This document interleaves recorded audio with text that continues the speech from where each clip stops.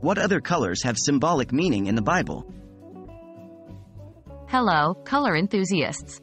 In this video, we'll delve into the fascinating world of the Bible and explore the symbolism and meanings of various colors found in its text. Remember, the use of colors in the Bible is a rich metaphoric language that can add depth to our understanding of the scripture. What does the color red symbolize in the Bible? The color red is a dominant color in the Bible, seen as both a symbol of life and death. It is the color of blood, representing life, Leviticus chapter 17 verse 14, and also the color of war and destruction, Revelation chapter 6 verse 4. It's a color that often depicts the ultimate contrasts of human experience. What does the color blue symbolize in the Bible? Blue, the color of the sky and the sea, is frequently mentioned in the Bible. It's often associated with the divine and the infinite. Specifically, it represents the law or commandments of God, Numbers chapter 15 verses 38 to 39, and the divine revelation. Blue is also a color symbolizing the heavenly grace. What does the color white symbolize in the Bible? The color white in the Bible symbolizes purity, righteousness, and holiness.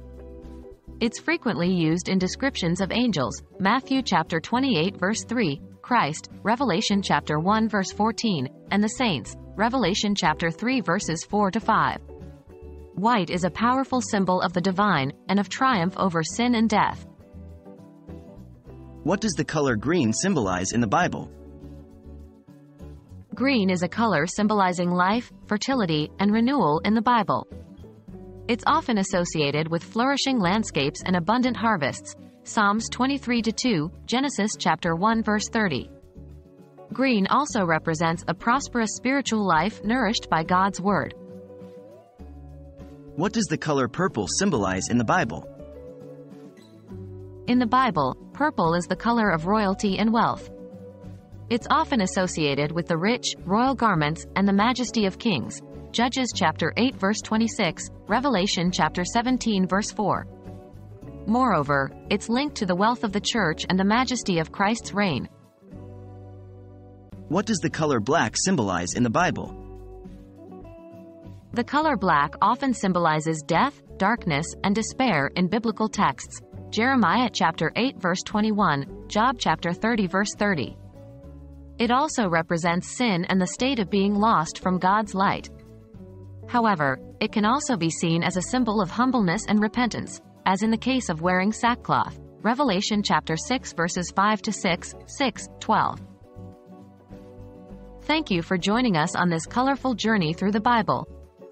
As we've seen, colors in the Bible hold profound symbolic meanings, giving us a richer understanding of the scripture's messages. We hope this exploration of biblical colors has sparked your interest and added a new layer to your interpretation of these ancient texts. Until next time, keep exploring the vibrant colors of life and faith.